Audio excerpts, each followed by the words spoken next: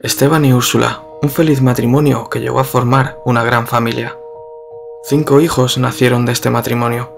Carmen, María, Justa, Saturnina y Valerio, siendo este último el que heredó la casa en 1953. Estando recién casado, la posguerra llamó a su puerta. Dado que el joven matrimonio no tenía hijos, tanto Valerio como su mujer fueron reclutados para prestar el servicio militar. Valerio prestó servicio militar durante 18 meses, su mujer durante 6. Una vez pasado ese tiempo, volvieron a reencontrarse. Formaron una familia con su primer y único hijo. Fotos, cartas, incluso un testamento nos deja indagar en su historia. Finalmente perdemos la pista de esta familia en 1984, cuando abandonaron su hogar. ¿Por qué lo abandonaron todo? ¿Por qué dejaron atrás tantos recuerdos? Salieron tan a prisa que hasta olvidaron parte de sus ahorros. Puede que la casa se les estuviera cayendo encima y no tuvieran más remedio que abandonarla. Infinidad de recuerdos descansan en el olvido entre estas resquebrajadas paredes.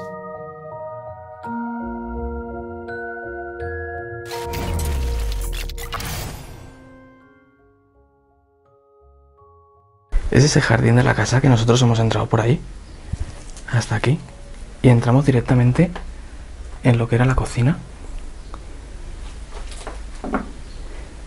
Que aquí tenían para lavar los platos y secarlos justo arriba. Mirad la lavadora. Voy a hablar bastante bajito en el vídeo porque estamos en un pueblo muy pequeñito y esta casa está justo en el centro. Así que tendremos que ir con cuidado. En esta parte de aquí aún estamos lejos de la calle porque la calle está justo en esa puerta de ahí.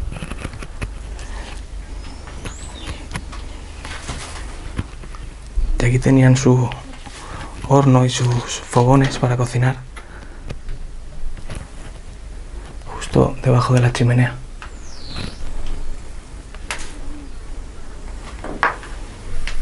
Es bastante pequeñita la casa, pero tiene cantidad de detalles por toda la casa. Y estructuralmente están las últimas, que ahora luego lo veréis. Cápsulas.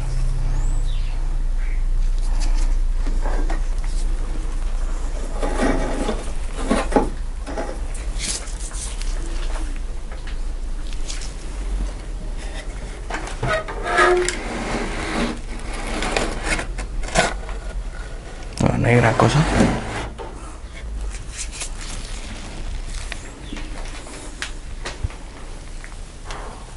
Mirar todos los platos cubiertos por el polvo.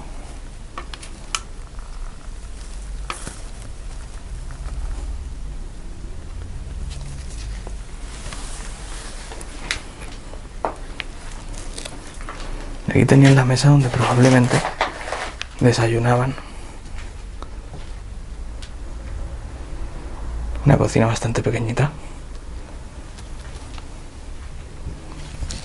Pero bueno, una casa de pueblo. Ahí por aquí había visto una foto.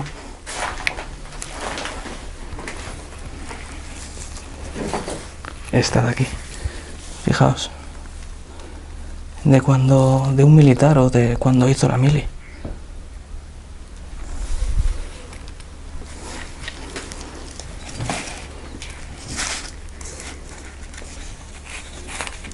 Hitler, 1971.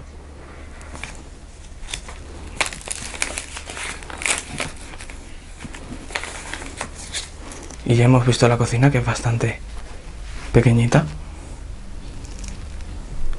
Y vamos a pasar a esta parte de aquí.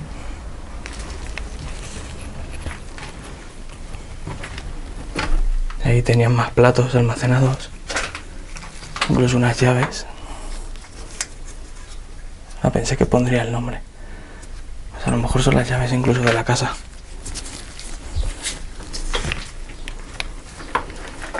Con todos sus trapitos bien puestos.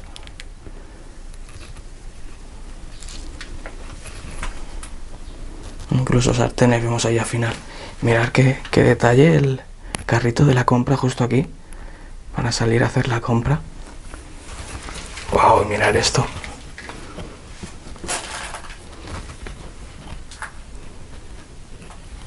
Incluso una caja de. Una caja. Una jaula, perdón.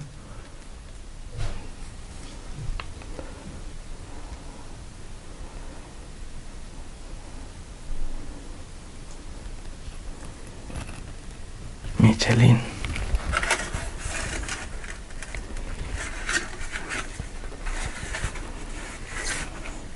Parece una válvula de, de, una, de una rueda de bici.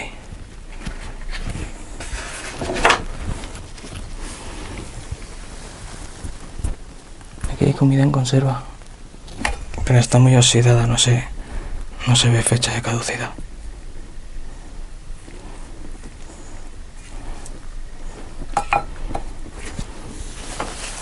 Aquí abajo tenían un pequeño trastero. Y por aquí tenían para subir a la parte de arriba, aunque la parte de arriba es lo que peor está.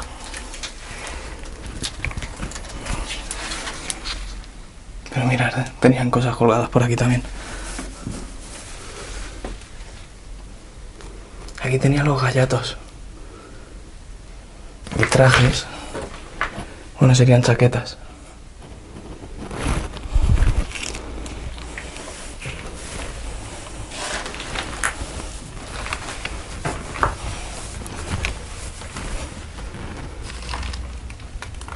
Más jaulas de pájaros. Pero esta parte de aquí, mirar, que se ve la cocina. Hay un agujero en el suelo. La cocina está apuntalada, así que por aquí no vamos a pasar. No, vamos a asomar a ver. Esto creo que es una. Sí, es una radio. Es una radio antigua. Y esto de aquí sería la entrada principal. Tenemos que tener mucho cuidado con esa puerta porque si pasa alguien por ahí nos va a escuchar.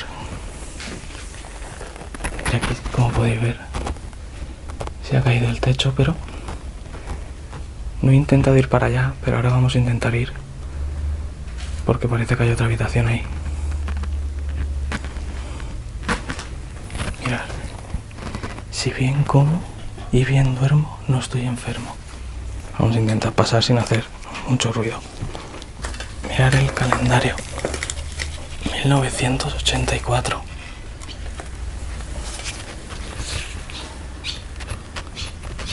Wow. Vamos a seguir avanzando poco a poco.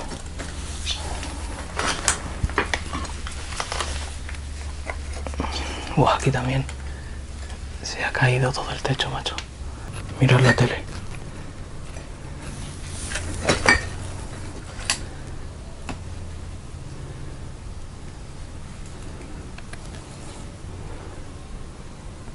Vamos a intentar cruzar.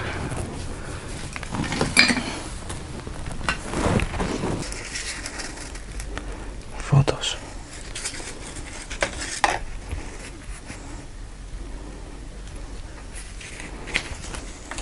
Vale, mirar en estos medicamentos sí que he encontrado la fecha de caducidad, que es abril del 81.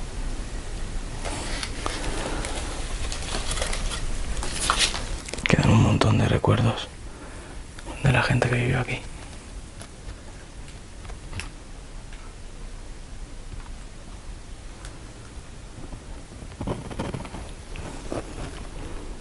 Mirar, se ha caído abajo el armario. No sé si voy a poder pasar.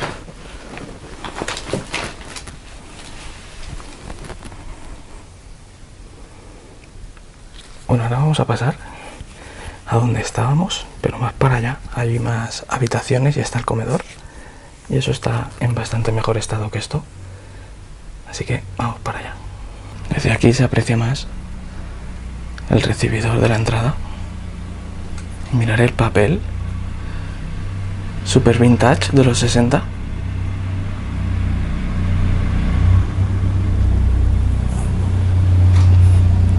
Bueno, y de aquí ya pasamos a lo que sería la salida de estar.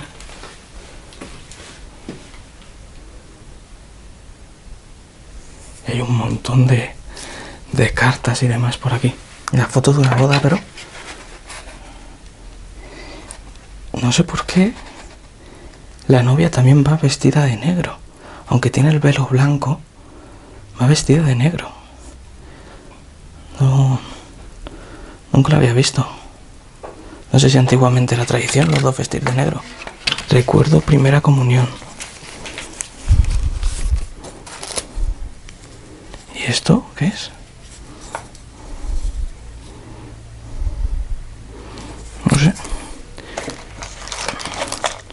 Un antiguo rosario.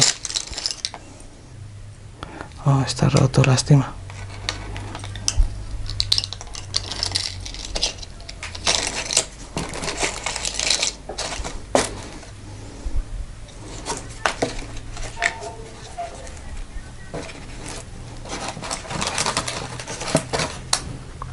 mirar, todo esto será de la primera comunión cuando la tomo.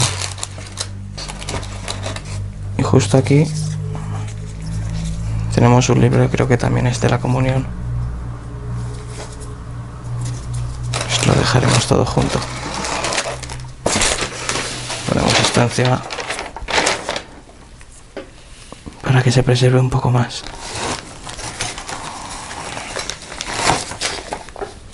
Chocolates y bombones. Es un obsequio de Zahor. Son cubiertos.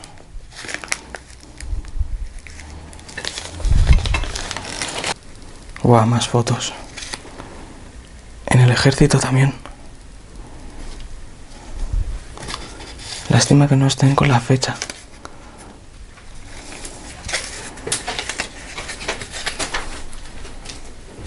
Mirar, este parece el chico parece el que hemos visto antes en la foto de la cocina. Puede que sean fotos de algunas vacaciones que hicieron. Mira, sí, seguramente, porque estamos en Madrid, en Madrid no hay playa. Así que probablemente se irían de vacaciones a algún lugar. Y este sigue siendo el mismo chico de antes. Les enseño un poco así en general la salita.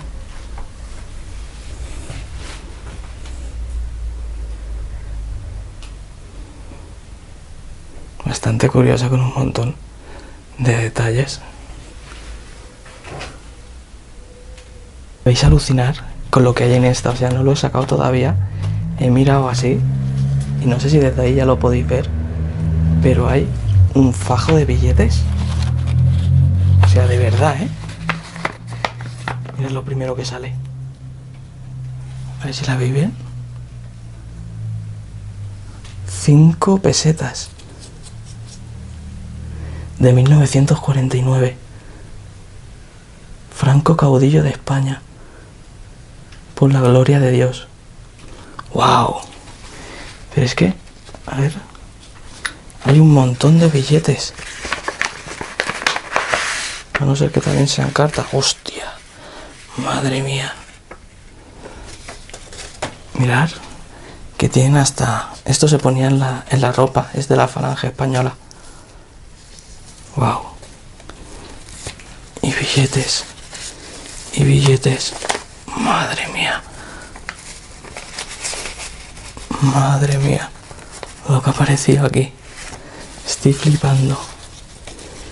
1938. 25 pesetas. 100 pesetas. Paga pagará al portador, pone los billetes. No sé si lo estoy enfocando bien porque no estoy mirando a cámara. 500 pesetas. Son preciosos todos, 1940.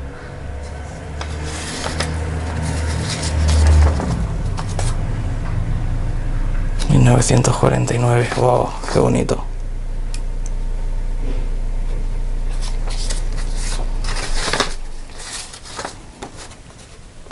Acaba de aparcar un coche justo al lado. Este también precioso.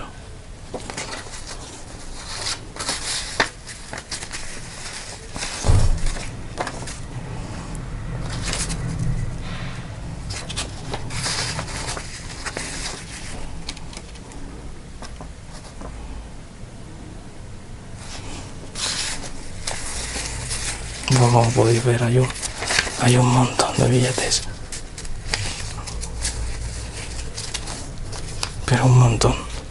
Vamos a dejarlo de nuevo todo en el sobre. Pues aunque haya un montón de billetes, esto prácticamente hoy en día al cambio no es prácticamente nada. Todavía estaba flipando con, con los billetes que han aparecido en este sobre, pero es que aquí tenemos un monedero. Y fijaos que hay monedas antiguas. Bueno, antiguas, vamos a ver. 1975. Son pesetas.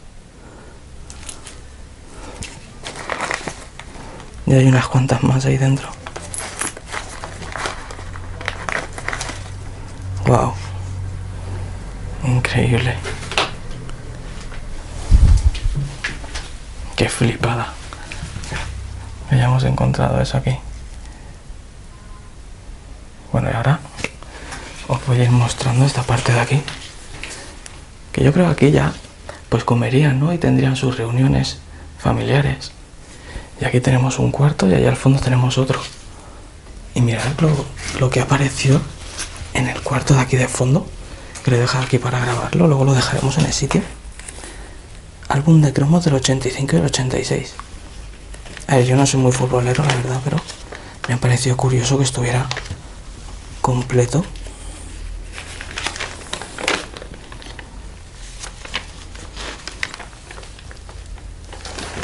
pasado a encontrar álbumes así completos, ¿eh? Que bueno, yo os digo que yo de fútbol no sé mucho. Y este también, bueno, a este le faltan cromo. Sí, a este le faltan bastante comparado con el otro. Este es del 82-83. Y otro 85-86. De aquí tenían guardadas un montón de fotos que hemos visto antes. Servicio social.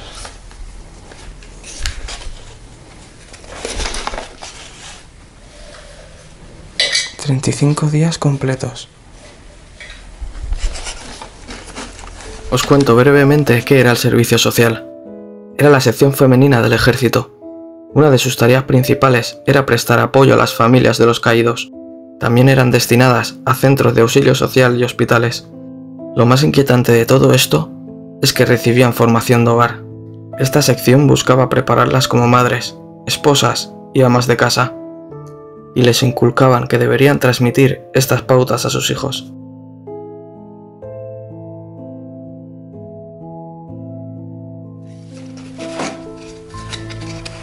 Este sigue siendo el chico de antes. Y aquí también.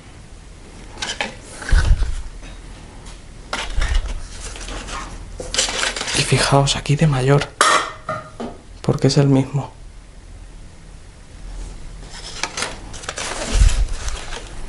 Y esta creo que es que sería su mujer y su hijo o hija. Y cuando servía en el ejército. Yo creo que simplemente fue a la mili y no sirvió en el ejército. Porque no hemos encontrado ropa ni nada así del ejército.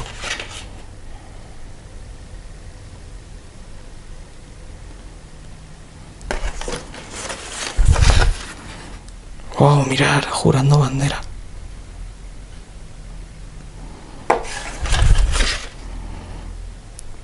Esto es Valencia, creo, sí. Es Valencia.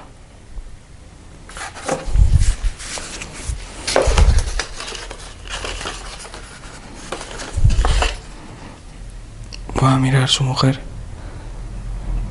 Y es la misma que, que la otra foto que hemos visto antes que esta.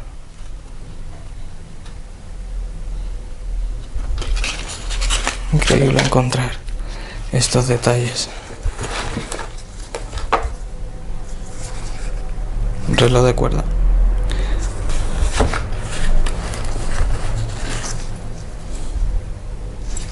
Una medalla. Premio a la aplicación. Ay chicos, no me creo lo que acabo de encontrar. No sé si lo veréis. En nuestra presencia manifiesto la testadora que su contenido es la fiel expresión de su última voluntad, y en fe de ello lo firmo juntamente con los testigos presenciales. La testadora, testigos, es, la apertura de, es una apertura de testamento. ¡Wow! Es que no, no quiero mostrar porque voy a tener que pixelar un montón de nombres. Testamento se abrió el 16 de marzo de 1953. Primera parte funeraria y piadosa. Lo primero, encomiendo su alma a Dios, que la crió y redimió con preciosa sangre y el cuerpo a la tierra, de que fue formado. En cuál hecho cadáver quiere que sea amortajado con ropa limpia y sepultado en el campo santo de esta población o sea, aquí ya en la primera parte deja claro dónde quiere que le entierren y cómo. Deudas a favor y en contra. Declara que esta casa, o sea, el matrimonio, se lo deja al hijo Valerio. Y también la cantidad de 12.000 pesetas. Y como dinero no existe, ha de cobrarlas de los bienes del matrimonio. Vale, tenía más hijos a otro. A mi hijo Valerio le mando para él para siempre sus herederos y sucesores la era de pan junto al camino de... O sea, le está dejando tierras.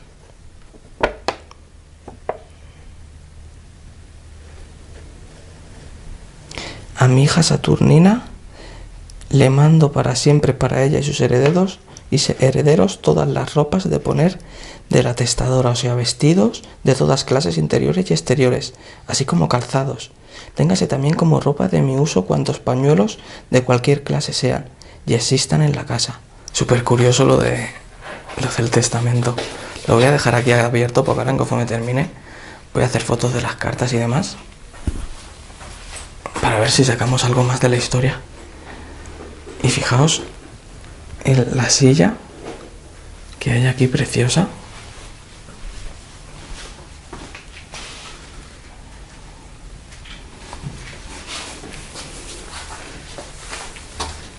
Wow, no esperaba silla así en esta casa.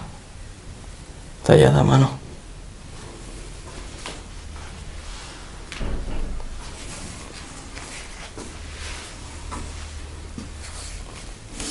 Bueno, y como habéis podido leer en el testamento, a una de sus hijas le dejaba toda su ropa. Y fijaos que, pues no sé muy bien por qué, pero la dejaron así, aquí.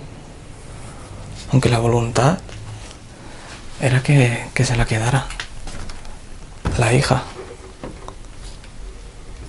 Aunque también hay ropa de hombre, pero esta de aquí, por ejemplo, es una chaqueta de mujer como podéis ver. Esta también, una camisa de mujer. Y yo creo que el matrimonio más o menos fallecieron prácticamente en pocos años, con, de pocos años de diferencia. Fallecieron prácticamente juntos. Mirar toda la ropa. Bueno, es bastante curioso que tu madre quiera que pues, te quede su ropa, ¿no? Como recuerdo y tú directamente la dejes abandonada en la propiedad que ella tiene en la casa que seguramente le vio nacer.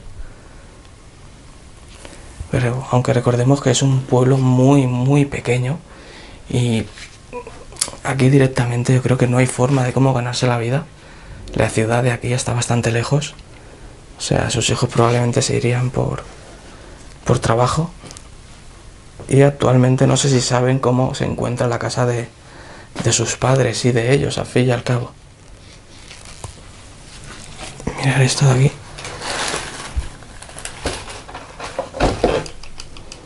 Parecía un, un traje de novia. Ah, no, el traje está aquí.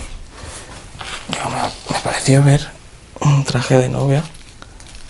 Y este es el, lo que se ponía en, en la cabeza, junto con el velo. Y aquí está el traje. que es la segunda vez que vengo. La primera vez que vino el traje estaba en su caja.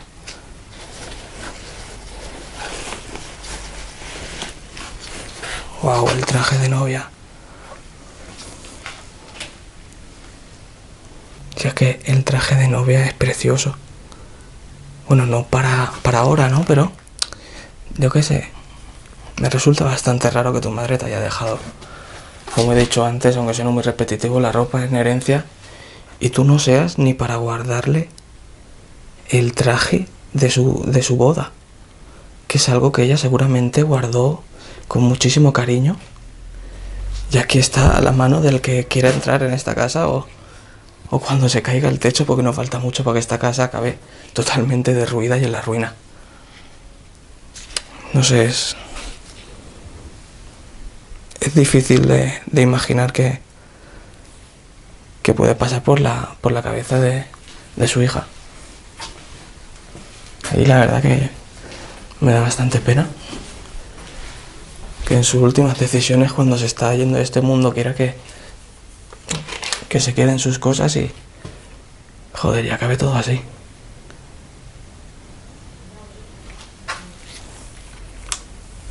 Y sus hijos no hayan hecho nada.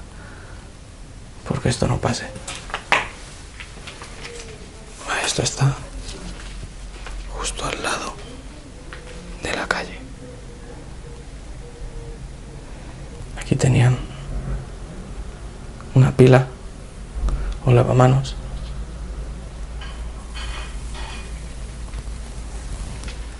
Mirar curioso.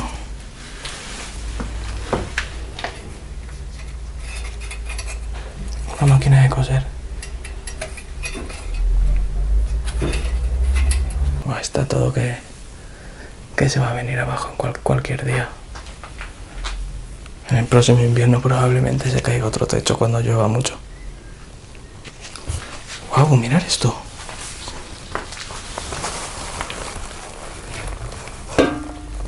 Una muñeca ahí, totalmente embalada. Barcelona, Vizcaya, pone ahí. Y totalmente embalada. ¡Ay, mirar esto! Moda joven. O está sin estrenar. Increíble. 325 pesetas.